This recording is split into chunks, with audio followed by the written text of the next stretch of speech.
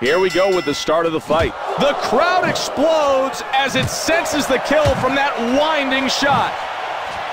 Ooh, made him stumble there, and it's not hard to believe with that loaded shot. He's trying to hold on now as that last loaded shot rocked him. Pacquiao's in a bad way. I'm not sure he's fully aware of his surroundings. Let's see if...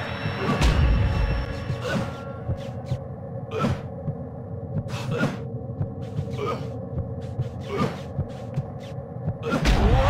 punch, and he goes down.